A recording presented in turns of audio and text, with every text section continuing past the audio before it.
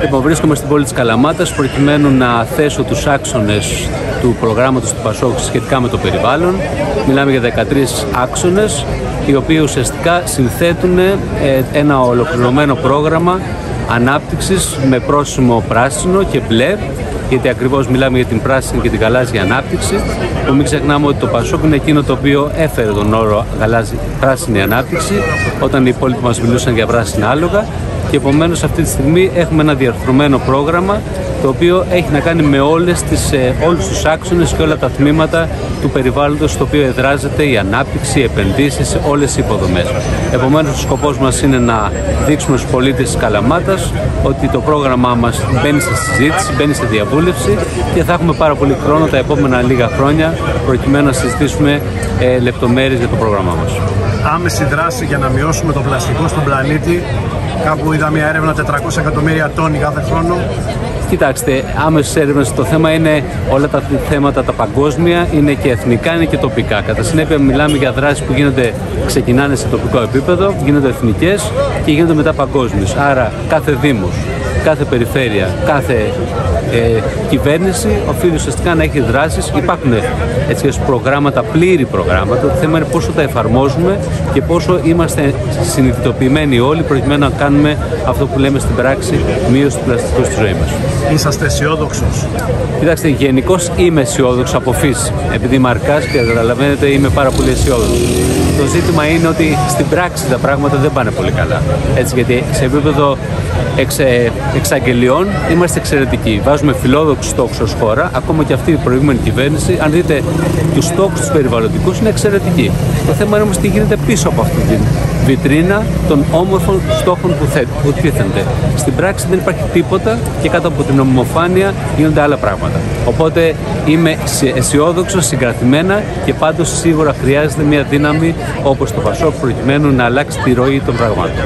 Κυρία Λιμπεροπούλου, σήμερα το Πασόκ έχει μια εκδήλωση για το θέμα της κλιματικής αλλαγής και της περιβαλλοντικής, ε, περιβαλλοντικού ενδιαφέροντος που πρέπει να δείξουμε.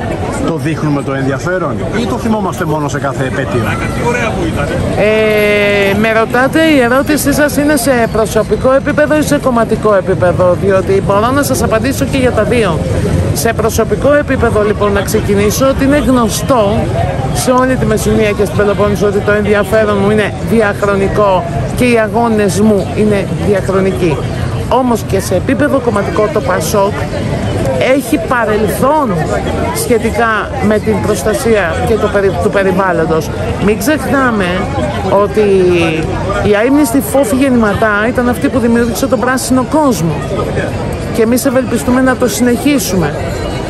Θέλω λοιπόν να πω ότι ο αγώνας είναι διαρκής και δεν τον θυμόμαστε μόνο την ημέρα του περιβάλλοντος. Η ημέρα του περιβάλλοντος ήταν μια αφορμή για να αναλύσουμε και στη Μεσσηνία το περιβαλλοντικό μας πρόγραμμα, το οποίο το έχουμε εκπονήσει μια ομάδα ανθρώπων που γνωρίζουν πράγματα για το περιβάλλον, γνωρίζουν πολύ καλά τον τομέα περιβάλλον και χαιρόμαστε γιατί ε, το πόνημα αυτό μπήκε στο πρόγραμμα του Πασόκ. Το περιβάλλον είναι το σπίτι μας. Μεγαλώνουμε εμείς, τα παιδιά μας. Γιατί το καταστρέφουμε; Το περιβάλλον δεν το καταστρέφουμε εμείς ως πολίτες. Το περιβάλλον το καταστρέφουν, αν και η λέξη καταστρέφω εμένα δεν μου αρέσει, είναι πολύ βαριά λέξη.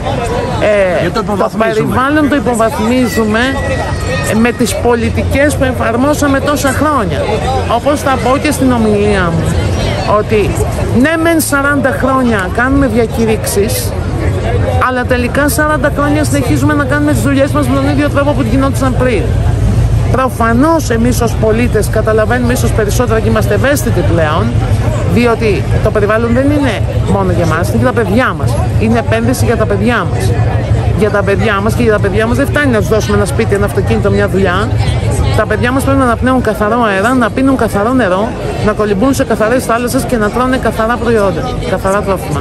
Αυτό είναι το βασικό και οφείλουμε να, να το κάνουμε για τα παιδιά μας η ενεργειακή κρίση και τα προβλήματα που έφερε μας έκαναν λίγο καλύτερους, πιο ευσυνείδητους πολίτες; Μας έκαναν ευσυνείδητους πολίτες γιατί μας άγγιξε την τσέπη μας. Ε, θυμόσαστε σε παλιές μου μιλίες που εγώ είχα μιλήσει για ενεργειακή κρίση. Πολλές φορές. άγγιξε την τσέπη μας, όπως θα την αγγίξει πάλι την τσέπη μας, εάν δεν εφαρμόσουμε πολιτικές τέτοιες, ώστε να μην χρειαστεί να πληρώσουμε περιβαλλοντικούς φόρους, τους οποίους τους έχει ψηφίσει η Ευρωπαϊκή Ένωση για το 2030. Χρειαζόμαστε σωστές πολιτικές. Αν δεν εφαρμοστούν σωστές πολιτικές, τότε θα έχουμε σοβαρά προβλήματα. Είμαστε σήμερα εδώ σε μια εκδήλωση που κάνουμε για το περιβάλλον. Το περιβάλλον για το Πασόκ αλλά και για όλους τους πολίτες είναι κάτι πρωταρχικό, είναι ένα ζήτημα σοβαρό στο πρόγραμμά μας και ενδιαφέρει πάρα πολύ την κοινωνία, τη νέα γενιά αλλά και όλο το πλανήτη. Η πράσινη ανάπτυξη, η προστασία του περιβάλλοντος είναι ζητήματα κορυφαία, όχι μόνο εθνικά αλλά και παγκόσμια ζητήματα αφού αφορούν το παρόν και το μέλλον του πλανήτη μας. Σας, ε, φίλες και φίλοι, στην πρώτη εκδήλωση που διοργανώνει η Νομαρχιακή Επιτροπή του Πασόκ Μεσσηνίας μετά και το αποτέλεσμα των προηγούμενων εκλογών της 21ης Μαΐου. Για μας είναι μια σημαντική διαδικασία αυτή, καθώς ξεκινάμε ένα προγραμματικό πλέον διάλογο σε όλη αυτή τη διαδρομή μέχρι και τις εκλογές της 25ης Ιουνίου. Είχαμε την τύχη και τη χαρά στην περιοχή μας και στο νομό μας μέσα από μια πολύ δύσκολη διαδικασία και με έναν εξαιρετικό αγώνα που πραγματοποίησαν οι υποψήφοι βουλευτές μας όλη την προεκλογική αυτή περίοδο να απολαύσουμε την εμπιστοσύνη των πολιτών και από ένα ποσοστό στο 6,8% να έχουμε φτάσει αυτή τη στιγμή κοντά στο 11% στη Μεσσηνία. Κάτι πολύ σημαντικό και ελπιδοφόρο για εμάς. Και βέβαια είναι πολύ σημαντικό διότι πλέον ξεκινάει μια νέα διαδικασία, μια νέα κάλπη. Το αποτέλεσμα των εκλογών το αφήνουμε πίσω μας ως παρακαταθήκη. Ευχαριστούμε τους πολίτες που μας εμπιστεύτηκαν. Ευχαριστούμε τους υποψήφιους που έτρεξαν, τα στελέχη μας. Και μπροστά στις προκλήσεις που αναπτύσσονται όλη αυτή την περίοδο, γιατί όπως αντιλαμβάνεστε, μοιραία έχει αναπτυχθεί ένας διάλογος ο οποίος θα μπορούσε να πάρει και χαρακτηριστικά, θα λέγαμε ίσως τοξικά, μιας και δεν αναπτύσσονται όλες αυτές οι διαστάσεις στην προεκλογική αυτή περίοδο της πολιτικής. Ξεκινήσαμε από την Καλαμάτα με αφορμή την Παγκόσμια ημέρα του περιβάλλοντος για να μπορέσουμε να αναπτύξουμε μια θεματική η οποία είναι σημαντική, η οποία είναι κρίσιμη, η οποία σίγουρα δεν μας απασχολεί στα πάνελ τα τηλεοπτικά όσοι περισσότεροι παρακολουθείτε τις εφημερίδες και όμως είναι ένα θέμα ζωτικό γιατί από εκεί πλέον εκπορεύονται όλες οι επόμενες προκλήσεις του μέλλοντος. Οι γεωπολιτικές και γεωοικονομικές ανακατατάξεις είναι τεράστιες.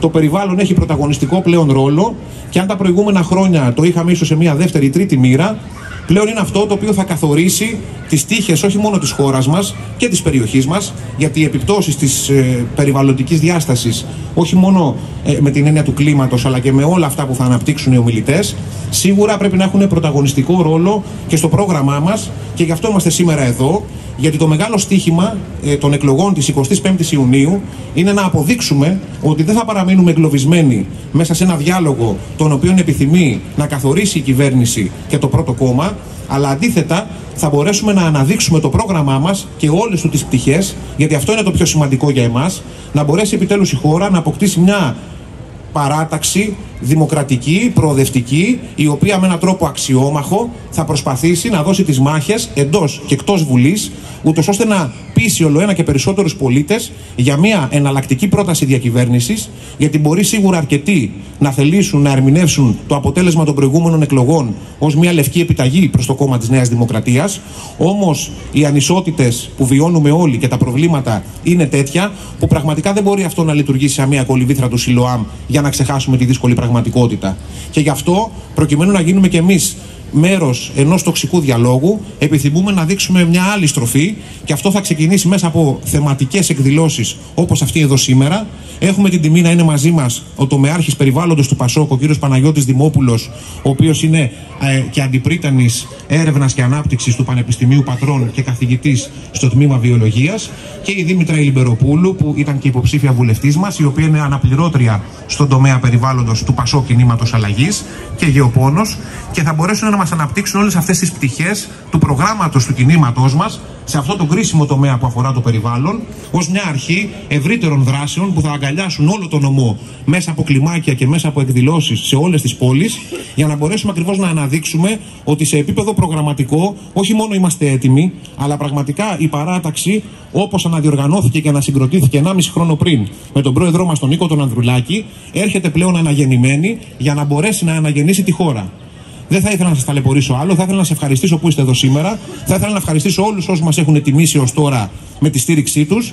Και νομίζω οι προκλήσεις είναι πολλές.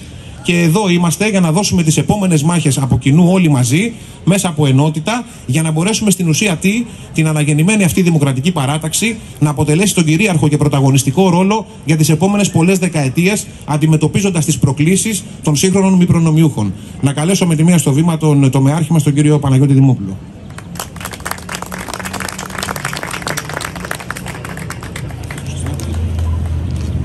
Καλησπέρα σας. Ευχαριστώ πάρα πολύ για τα εισαγωγικά λόγια. Ε, το γεγονός ότι βρίσκομαι εδώ, αν και δεν είμαι συνηθισμένος μετά από πολλά χρόνια, όταν ξεκίνησα από την Πάσπη και εγώ, και τα, στη συνέχεια ο ακαδημαϊκός χώρος με τραβάει.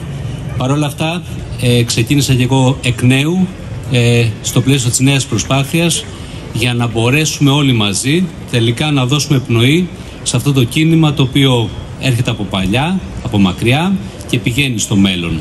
Επομένως ε, συντάχθηκα και εγώ με τη νέα ηγεσία του Πασόκ προκειμένου με επιστημονικά τεκμηριωμένο τρόπο να δείξουμε την άλλη διάσταση. Γιατί ξέρετε τα πράγματα είναι πολύ διαφορετικά από αυτά που θέλει η Νέα Δημοκρατία να μας παρουσιάζει γιατί στην πραγματικότητα έχουμε θέματα πέρα από δημοκρατία συνολικότερη έχουμε και θέματα δημοκρατία στον τρόπο που κυβερνάται το περιβάλλον. Η περιβαλλοντική διακυβέρνηση ακόμα και αν δεν φαίνεται στα μάτια των πολλών ε, υπάρχει και είναι σοβαρό ζήτημα γιατί όλα χρειάζονται η ισοτιμία, όλα χρειάζονται τρόπο με τον οποίο λαμβάνονται οι αποφάσεις και αυτή τη στιγμή οι αποφάσεις λαμβάνονται από ένα πολύ μικρό πυρήνα ανθρώπων χωρίς να λαμβάνονται υπόψη καθόλου η διαβουλευτική διαδικασία που μην το ξεχνάμε έχει να κάνει με το Πασόκ, έχει να κάνει με τα χρόνια που κάποτε την πράσινη ανάπτυξη, την οποία τώρα την επικαλούνται ξανά, μας μιλούσαν όταν ο Παπανδρέου μιλούσε για την πράσινη ανάπτυξη, για πράσινα άλογα.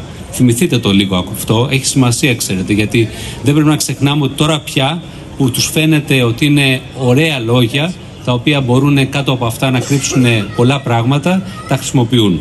Έτσι λοιπόν είμαι εδώ για να δείξουμε ότι το ΠΑΣΟΚ είναι η μοναδική δύναμη από τις υφιστάμενες, όπου έχουμε ένα πλήρες πρόγραμμα και ήρθα να παρουσιάσουμε τους πρώτους μας άξονες. Έχουμε 13 άξονες, το 13 δεν με φοβίζει καθόλου ξέρετε, δεν είμαι προληπτικός, γιατί είδατε το άξονες του προγράμματος του ΠΑΣΟΚ που είναι μόλις 12, αλλά είναι μόνο με τίτλους. Εκεί λοιπόν αν δείτε στο περιβάλλον είναι μόνο ένα, ένας μικρός άξονας που μιλάει και τρεις ακόμα άξονες για την ενέργεια, Επομένως, ε, εγώ θα σας αναπτύξω το κομμάτι που αφορά το περιβάλλον και τους άξονές του. Είμαστε το μοναδικό κόμμα που έχουμε δύο διακριτούς δύο διακριτούς πυλώνες και δύο διακριτούς τομείς που είναι ο τομέας περιβάλλοντος και ο τομέας ενέργειας. Ο Χάρης Οδούκα από το Εθνικό Μετσόβιο Πολυτεχνείο είναι ο τομεάρχης και εγώ στα υπόλοιπα κομμάτια του περιβάλλοντος ο αντίστοιχος τομεάρχης. Επομένως, το Πασόκ και ευχαριστώ πολύ που είσαστε όλοι εδώ, γιατί σημαίνει ότι όλοι θα θέλαμε το περιβάλλον που χωρίς να το νιώθουμε και ειδικά σε αυτή την περιοχή που έχετε δίπλα σας στον Ταΐγετο, μία από τις προστατευόμενες περιοχές της Ελλάδας με πολύ μεγάλη σημασία, να κατανοήσουμε τον φυσικό πλούτο που είναι γύρω μας. Και αυτή η πόλη δεν θα ήταν έτσι όπως είναι. Αυτή η πόλη δεν θα είχε ποιότητα ζωής αν δεν υπήρχε ο Ταΐγετος ή αν δεν διατηρούσαμε τον Ταΐγετο, το όρος Ταΐγετος, την οροσυρά του Ταΐγετου, με όπως θα πούμε παρακάτω στο πλαίσιο του δικτύου Natura 2000. Επομένως, ε, για το Πασόκ λοιπόν, το περιβάλλον τίθεται σε προτεραιότητα, είναι η διαρκής και σταθερή βάση για κάθε δραστηριότητα. Γιατί μην ξεχνάμε ότι στο περιβάλλον στηρίζεται η οικονομία, η ανάπτυξη, ο σχεδιασμός και ο προγραμματισμός για το μέλλον της χώρας σε τοπικό, περιφερειακό και εθνικό επίπεδο. Δεν υπάρχει τίποτα το οποίο να μην εδράζεται στο περιβάλλον. Είτε κάνουμε θέματα, είτε κάνουμε δραστηριότητες για τη γεωργία και την κτηνοτροφία, είτε μιλάμε για θέματα υποδομών όπως τα αιωλικά πάρκα, τα φωτοβολταϊκά ή άλλες μορφές πράσινης ενέργειας. Σημαίνει ότι όλα αυτά έχουν μικρότερη ή μεγαλύτερη επίπτωση στο φυσικό περιβάλλον.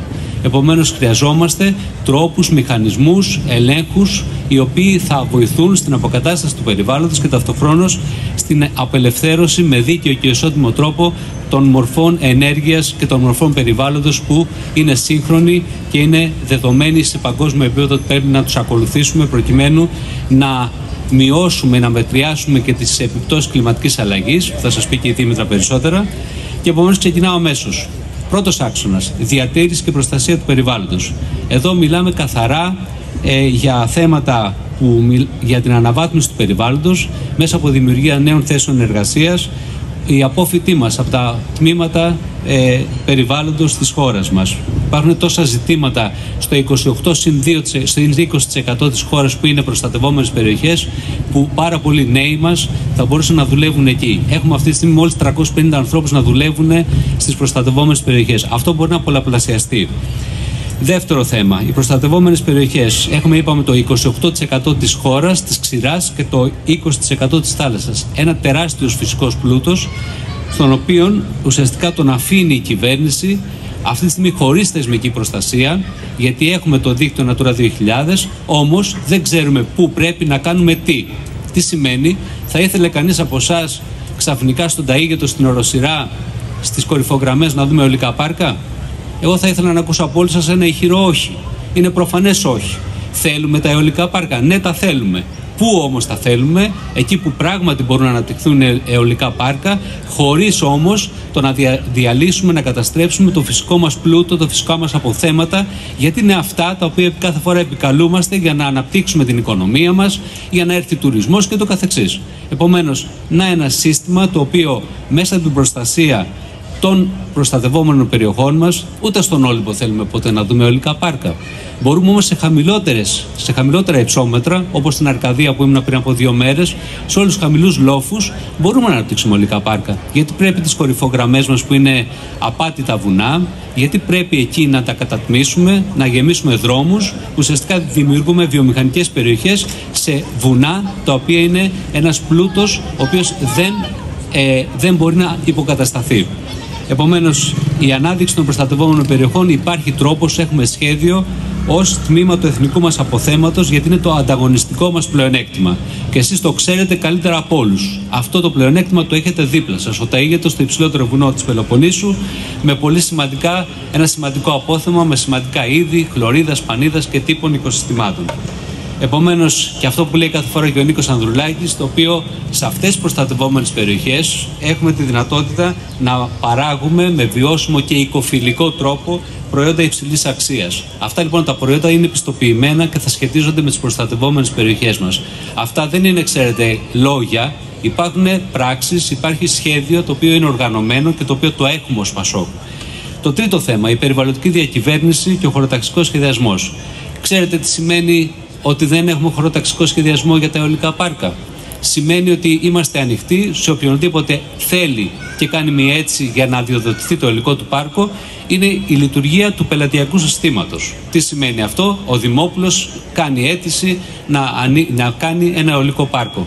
Επειδή δεν υπάρχει καθόλου από πριν εκτίμηση το πού πρέπει να γίνει αυτό το υλικό πάρκο, το αφήνουν εκρεμές προκειμένου να καλλιεργείται σε όλους η το ότι θέλουν να καλλιεργείται σε όλους ε, το θέμα ότι θέλουμε και μπορούν να σου δώσουν άδεια. Αυτό λοιπόν πάβει να υπάρχει όταν έχεις μια διαφανή διακυβέρνηση του περιβάλλοντος όπου ο ενημερωμένος πολίτης θα είναι σε θέση να διαντιδρά, δηλαδή ουσιαστικά να έχει τη γνώμη του και ουσιαστικά θα μπορεί κάθε φορά να μιλάει, να συμμετέχει, αλλά όταν το επιτρέπεται. Αυτή τη στιγμή η δημόσια διοίκηση, για όσους είστε δημόσιοι υπάλληλοι, μάλλον το ξέρετε, η δημόσια διοίκηση, ούτε οι διευθυντές, ούτε οι γενικοί διευθυντές, ούτε οι προϊστάμενοι των τμήματων τολμούν σε οποιαδήποτε πολιτική απόφαση έρχεται να εκφράσουν τη γνώμη τους. Η δημόσια διοίκηση σημαίνει ότι πρέπει να είναι ανεξάρτητη, να είναι επιστημονικά τεκμηριωμένη και να τολμά να μην υπογράφει ό,τι η πολιτική ηγεσία κάθε φορά του φέρνει. Αυτό σημαίνει σύγχρονο ευρωπαϊκό κράτος. Η κλιματική διακυβέρνηση. Ο ρόλος των πολιτών και της επιστήμης δεν μπορεί και δεν πρέπει να περιορίζεται σε διαβουλεύσεις όταν και εφόσον ο κάθε υπουργός το θελήσει. Τι σημαίνει αυτό, ο κόσμος αυτή τη στιγμή δεν εμπιστεύεται τις διαβουλεύσεις, δεν μπαίνει να σχολιάσει τους νόμους. Γιατί; Γιατί ενώ στο παρελθόν αξιολογούνταν τα σχόλια και κάποια από αυτά λαμβάνονταν υπόψη στα επιμέρους νομοσχέδια, σήμερα δεν γίνεται αυτό. Επομένως, ένα-ένα αποτρέπεται από το να κάνει, γιατί λέει: Γιατί να μπω στον κόπο να σχολιάσω κάτι το οποίο δεν θα ληφθεί καθόλου υπόψη. Αυτό λοιπόν τι σημαίνει, εμείς θέλουμε να υπάρχει ως Πασόκ ισχυρά όργανα με διοικητική και οικονομική αυτοτέλεια και ρόλο στη διαμόρφωσης πολιτικής, στον έλεγχο και την αξιολόγηση. Και ανεξάρτητα όργανα δημόσιας συμμετοχικής και επιστημονικής παρακολούθησης. Αυτό σημαίνει ότι δομούμε ένα κράτος διαφορετικό από ένα κράτος το οποίο είναι συγκεντρωτικό και τότε δεν επιτρέπει επιστημονικά τη δημόσια διοίκηση να αναπτύξει το ρόλο της. Αυτό ξέρετε όσα χρόνια και να περάσουν, εάν δεν καταφέρουμε να ξεχωρίσουμε τη δημόσια διοίκηση από την πολιτική εξουσία, σημαίνει ότι θα είμαστε μόνιμοι μια δέσμη ενός πελατειακού εξαρτημένου κράτους και κάθε φορά λοιπόν θα είμαστε πίσω από τον βουλευτή, πίσω από τον υπουργό και ουσιαστικά δεν θα αφήσουμε ποτέ κανέναν να εκφράσει τις απόψεις του, να εμπλουτίσει το λόγο μας και να συνθέσουμε το τέλος το καλύτερο αποτέλεσμα. Ο Εθνικός Κλιματικός Λόγος, νόμος.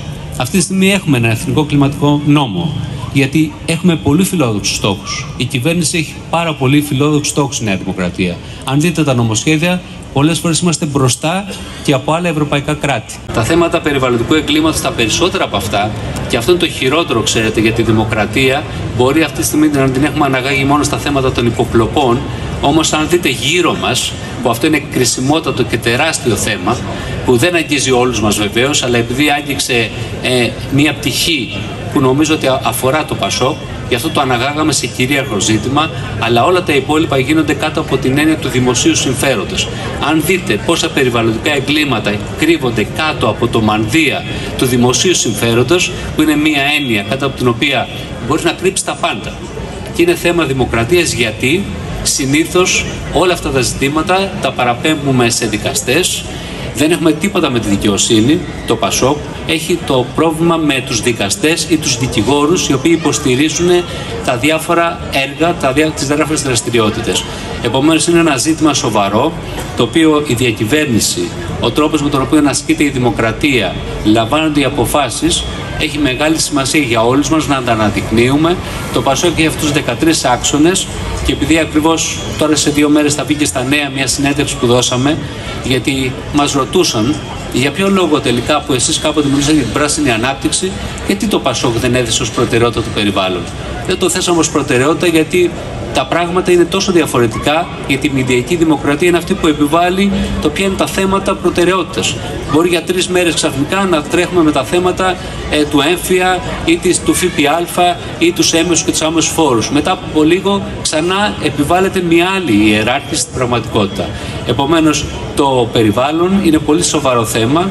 Εδώ λοιπόν έχετε, έχει σημασία λοιπόν στην περιοχή σας να μπορέσετε ε, και συγκεκριμένες και εξειδικευμένες ημερίδες να κάνουμε, γιατί έχετε αυτό το τεράστιο πλούτο που σας είπα πριν από λίγο. Και θα πρέπει από τη μία να προστατεύσουμε τον τόπο αυτόν από αναπτύξεις οι οποίες δεν αφορούν τους πολίτες, δεν αφορούν το Δήμο σας, δεν αφορούν όλους εσάς, αλλά αφορούν μια συγκεκριμένη μικρή μερίδα επενδυτών και επομένως εδώ κάθε τόπος, αυτό λέμε κάθε φορά, ο Όλυμπος πρέπει να παραμείνει έτσι όπως είναι η Πίντος, ο Σμόλικας θα πρέπει να παραμείνει έτσι όπως είναι. Ο Ταΐκητο πρέπει επίσης. Το λέω αυτό γιατί στη Ζήρια, το όλο σκυλίνει στην Κορινθία, το οποίο είναι ένα εξαιρετικός ορεινός όγκο, ξαφνικά τώρα θέλουν να βάλουν αιωλικά πάρκα. Που σε μια απάτητη κορυφή, στην πλευρά από τη Στυμφαλία, από την πλευρά εκείνη. Και επομένως λες, για ποιο λόγο δεν μπορούμε να ορίσουμε ζώνες τι οποίες να επιτρέπουμε; Υπάρχουν ποσοστά του ελληνικού εδάφους τα οποία μπορείς να αναπτύξεις αιωλικά πάρκα χωρίς να χρειαστεί να κατατμήσεις και να καταστρέψεις τις κορυφές σου. Αυτά ήθελα να σας πω. Σας ευχαριστώ πάρα πολύ που με ακούσατε. Ελπίζω να μην σας κούρασα.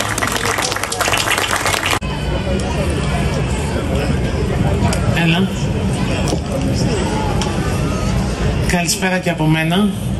Χαίρομαι που είμαστε όλοι εδώ απόψε να μιλήσουμε για ένα πολύ σοβαρό ζήτημα ε, χαίρομαι που είναι και ο κύριος Δημόπουλος, ο κύριος καθηγητής εδώ, το Μεάρχης, που σας ανέλησε το πρόγραμμα του ΠΑΣΟΚ για το περιβάλλον, το οποίο είναι αναγκαίο. Εγώ θα σας πω γιατί είναι αναγκαίο αυτό το πρόγραμμα και γιατί πρέπει να εφαρμοστούν αυτές οι πολιτικές. Θα ξεκινήσω λοιπόν με ένα πολύ καλό νέο.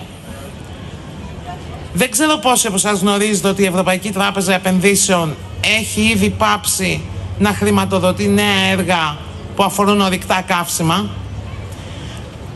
Είναι μια απόφαση που σαφώς και την επενούμε, επενείται για τη συμβολή της στις προσπάθειες αποτροπής της κλιματικής αλλαγής. Να σημειώσουμε επίσης ότι σύμφωνα με μια έκθεση που σχηματίστηκε από ομάδα ακτιβιστικών οργανώσεων ότι ο, οι μεγάλες ε, διεθνείς τράπεζες μέσα στα τελευταία έξι χρόνια, δηλαδή μετά την υιοθέτηση της συνθήκης του Παρισιού για το κλίμα, έχουν συνολικά χρηματοδοτήσει τον πλέον ρηπογόνο κλάδο με 4,6 τρισεκατομμύρια δολάρια. Ας γυρίσουμε πίσω στην απόφαση της Ευρωπαϊκής Τράπεζας Επενδύσεων. Ιστορική απόφαση έκανε ε, λόγω τότε Υπουργός Οικονομίας και Οικονομικών της Γαλλίας. Γιγάντιο άλμα μίλησε ο πρόεδρος της ΕΤΕΠ. Όμως, 40 χρόνια μεγάλων διεθνών διαπραγματεύσεων, εμείς τι κάνουμε, γενικά συνεχίζουμε τις δουλειές μας και τις πολιτικές μας με το συνηθισμένο τρόπο και ουσιαστικά έχουμε αποτύχει να αντιμετωπίσουμε την κλιματική κρίση. Έχουμε αποτύχει και λυπάμαι που σας το λέω. Έχουμε αποτύχει ως κοινωνία και ως πολιτικές που εφαρμόστηκαν και κυρίως ως κοινωνία. Γιατί εμείς είμαστε αυτοί που αποφασίζουμε ποιες πολιτικές θα μας κυβερνήσουν. Η κλιματική αλλαγή έχει φτάσει. Επιταχύνεται ταχύτερα από ό,τι πολλοί επιστήμονες περίμεναν. Θα σας μιλήσω με σκληρή γλώσσα. Η κατάσταση είναι πλέον τόσο άσχημη που για εμένα θα ήταν ανήθικο να μην χρησιμοποιήσω σκληρή γλώσσα. Η κλιματική κρίση είναι η πολιτική κρίση της εποχής μας. Τι είναι η κλιματική κρίση, τι θα μας φέρει; Είμαι σίγουρη πως όλοι κάπου κάπως έχετε ακούσει, ίσως να μην τα πολύ πιστεύετε μερικοί, καιρός να τα πιστέψετε. Και είναι καιρός επιτέλους να κατανοήσουμε ότι όσο δεν αντιμετωπίζουμε ως κράτος σοβαρά την, κλιματική κρίση, τόσο θα βυθιζόμαστε οικονομικά σε όλους τους τομείς. Θα σας πω μερικά όχι τόσο όμορφα, αλλά δεν θα χαϊδέψω τα αυτιά σας. Θα πρέπει να συνειδητοποιήσουμε ότι ο πλανήτης οδεύει για αύξηση θερμοκρασιών άνω των τριών βαθμών Κελσίου, που θα έχει καταστροφικές συνέπειες τόσο για τους ανθρώπους όσο και για τη φύση. Ο Γκουτιέρες κάλεσε την Ευρωπαϊκή Ένωση να αποτελέσει το παράδειγμα ώστε να περιοριστεί η άνοδος θερμοκρασίας των 1,5 βαθμό Κελσίου και να αποφευχθούν περαιτέρω επιπτώσεις κλιματικής αλλαγής κρίσης. Και ενώ όμως ο κόσμος περιμένει από την Ευρωπαϊκή Ένωση να αναλάβει τα ενία ως προς το κλιματικό ζήτημα, η ίδια η Ευρωπαϊκή Ένωση σέρνει τα πόδια της. Να μην μιλήσω λοιπόν για 3 βαθμούς Κελσίου, να μιλήσω για την αύξηση της μέσης θερμοκρασίας της ατμόσφαιρας κατά 1,5 βαθμό Κελσίου που εγκυμονεί κίνδυνο μακροχρόνιων και μη ανατρέψιμων αλλαγών όπως η πλήρης απώλεια οικοσυστημάτων. Παραστατικά και συγκεκριμένα, για να έχουμε μια ιδέα γιατί λέμε πρόχειρο απάνθισμα των καταστροφών. 50 εκατομμύρια άνθρωποι θα εκτοπιστούν θα γίνουν πρόσφυγες, περιβαλλοντικοί πρόσφυγες μέχρι το 2050 και δεν το λέω εγώ, το λέει ο ΙΕ. Οι πυρκαγιές θα οκταπλασιαστούν, θα γίνουν πιο καταστροφικές μέχρι το 2100. Γνωρίζουμε όλοι ότι αυτό έχει ήδη αρχίσει να συμβαίνει. 136 από τα πιο ιστορικά μέρη του κόσμου θα εξαφανιστούν κάτω από τη στάθμη της θάλασσας. Ε, οι τυφώνες θα γίνουν έντονοι και υγροί. Ερημοποίηση, λειψιδρία θα επεκταθούν επικίνδυνα. Κάποια από τα μικρά νησιωτικά έθνη θα χαθούν. Έχουμε ήδη δύο νησιωτικά έθνη, το Κυριμπάτι και το Τουβαλού, που εγκαταλείπονται από τους κατοίκους τους επειδή θα εξαφανιστούν. Το 100% των υφάλων θα εξαφανιστεί μέχρι το 2050. Ο αριθμός των υποσυτισμένων παιδιών θα αυξηθεί κατά 20 εκατομμύρια μέχρι το 2050 μόνο από αυτή την αιτία. Και αυτό είναι πολύ σοβαρό. Και αν σκέφτεστε ότι όλα αυτά δεν μπορεί να συμβούν, εγώ θα σας πω ότι συμβαίνουν. Ήδη σε ήπιους ρυθμούς. Και θα κλιμακωθούν με την πάροδο του χρόνου.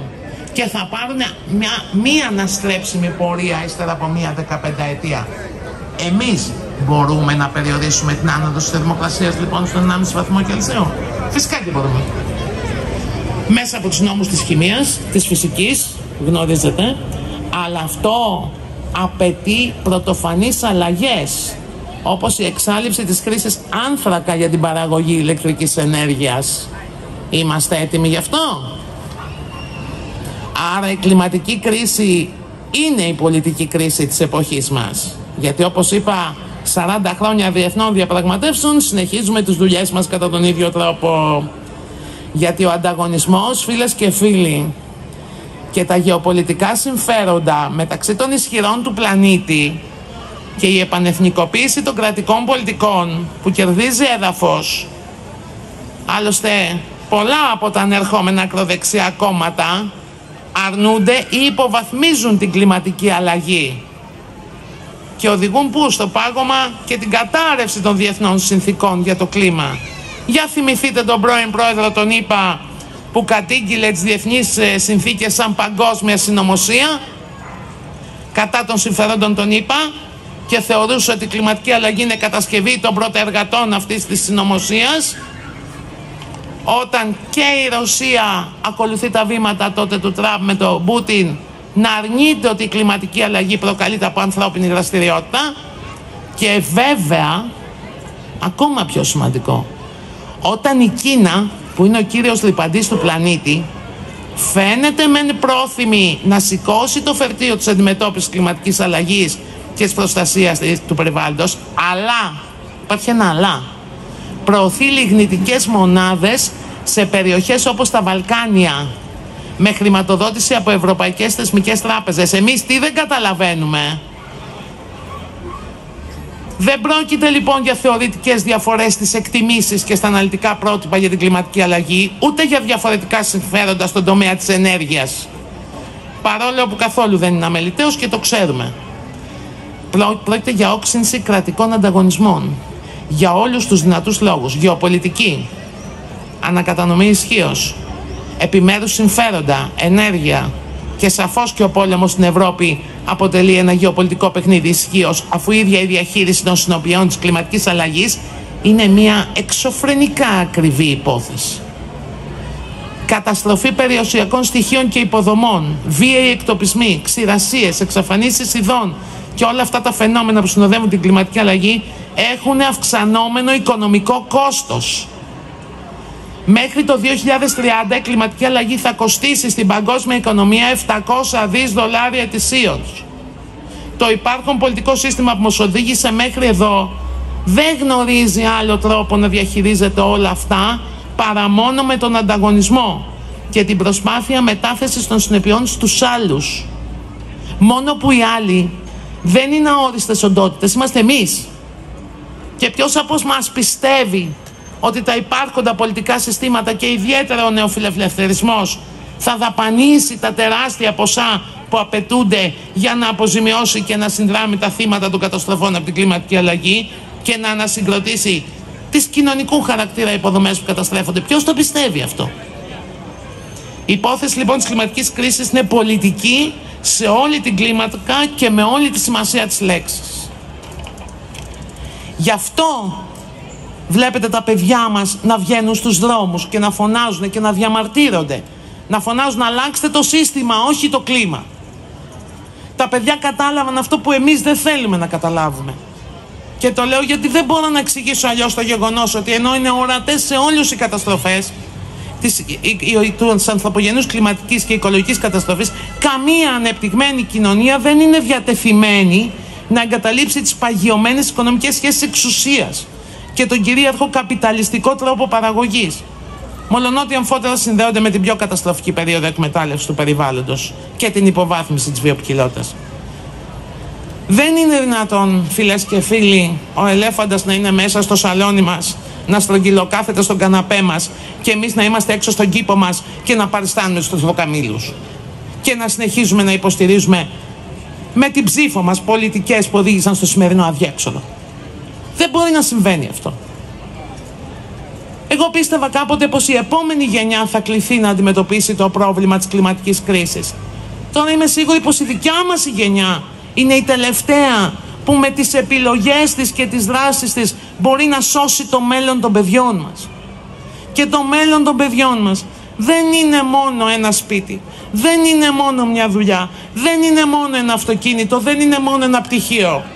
Γιατί τίποτα από αυτά δεν θα έχει αξία όταν τα παιδιά μας δεν θα μπορούν να αναπνεύσουν καθαρό αέρα, να φάνε καθαρή τροφή, να πιούν καθαρό νερό. Για αυτά τα αγαθά πρέπει να αγωνιστούμε και αγωνιζόμαστε όλοι μαζί, το πιστεύω αυτό. Μίλησα σε σκληρή γλώσσα. Αλλά όπως σας είπα ότι θα ήταν ανήθικο για μένα να, να τα πω με όμορφα λόγια. Μπορεί κάποιοι να σκεφτείτε ότι θέλω να κάνω εντύπωση. Σκεφτείτε ότι θέλετε, η σκέψη δεν ελέγχεται. Θέλω όμως να βάλετε καλά στη σκέψη σας ότι ήρθε η ώρα που οι κυβερνήσεις που εμείς επιλέγουμε ή θα επιλέξουμε θα πρέπει να ευθυγραμμιστούν με τα, με τα πορίσματα της επιστήμης. Και για να το κάνουν αυτό θα πρέπει εμείς, εμείς να τους πιέσουμε με τη δράση μας και την αντίδρασή μας σε όλα τα επίπεδα και κοινοβουλευτικά και παντού. Μίλησε προηγουμένως ο κ. Καθηγητής για ένα κλιματικό νόμο. Ένα καταστροφικό κλιματικό νόμο. Που θα το πω απλά και κοινικά δεν άνοιξε μύτη.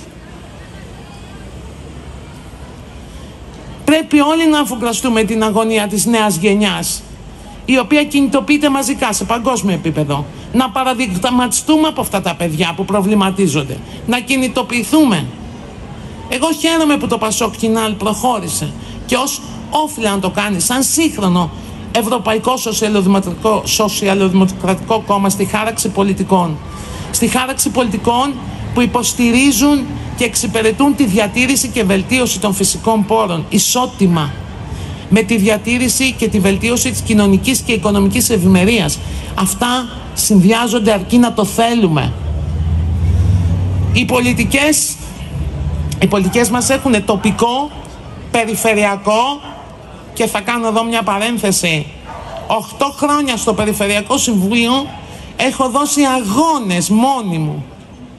Λυπάμαι που το λέω, ήμουνα μόνη μου. Για, τις, για το περιβάλλον, για το τρένο, για, το, για τη μαραθόλακα, θα το πω και αυτό, για τη διαχείριση των απορριμμάτων. Μόνοι μου τους έδωνα τους αγώνες. Τι να κάνω; Έτσι είναι. Ελπίζω να μην είμαι μόνιμο από εδώ και πέρα. Ε, γι' αυτό λέω λοιπόν ότι οι πολιτικές μας έχουν τοπικό, έχουν περιφερειακό, εθνικό και διεθνή χαρακτήρα στοχεύοντας την εναρμόνιση της χώρας με τις διεθνείς πρακτικές, με συμφωνίες για φορική διαχείριση του περιβάλλοντος, να το μεταβιβάσουμε σε καλύτερη κατάσταση στις επόμενες γενιές. Τους το χρωστάμε. Δίκαιη λοιπόν και ισότιμη χρήση των φυσικών πόρων όπως είπε ο κύριος καθηγητής. Πολιτικές για το περιβάλλον που να εναρμονίζονται και να ακολουθούν τις διεθνείς και ευρωπαϊκές πολιτικές και τις στρατηγικές για τη διατήρηση βιοποικιλότητας. Έχουμε ένα στόχο. Προστασία ή διατήρηση και ενίσχυση του φυσικού κεφαλαίου της χώρας μας και προστασία της υγείας και της ευημερίας των πολιτών από κινδύνους και επιπτώσεις που σχετίζονται με το περιβάλλον. Ανάκαμψη, προγράμματα ανάπτυξης, ανθεκτικότητα όπως είπε ο κ. καθηγητής. Ένα σύστημα διαβούς και ανεξάρτητου συστήματος περιβαλλοντικής διακυβέρνησης. Αυτό είναι πολύ βασικό. Η περιβαλλοντική διακυβέρνηση είναι ένα πολύ βασικό στοιχείο που θα πρέπει να εφαρμοστεί στις κυβερνητικές πολιτικές. Θέλω λοιπόν να καταλήξω ότι το ΠΑΣΟΚ έχει πρόγραμμα για την προστασία του περιβάλλοντος και χαίρομαι που συνέβαλα με ένα μικρό λιθαράκι για να γραφτεί αυτό το πρόγραμμα. Έχει πρόγραμμα ρεαλιστικό, ουσιαστικό, χωρίς μεγαλοστομίες, βασικό, και φρούδες υποσχέσεις και ελπίδες. Να μην ξεχνάμε ποτέ ότι όταν το Πασόκ μιλούσε για περιβάλλον, κάποιοι γελούσαν ηρωνικά. Να μην ξεχνάμε ότι η φόφη γεννηματάια ύμνηστη ξεκίνησε τον πράσινο κόσμο. Οφείλουμε να τον συνεχίσουμε τον πράσινο κόσμο.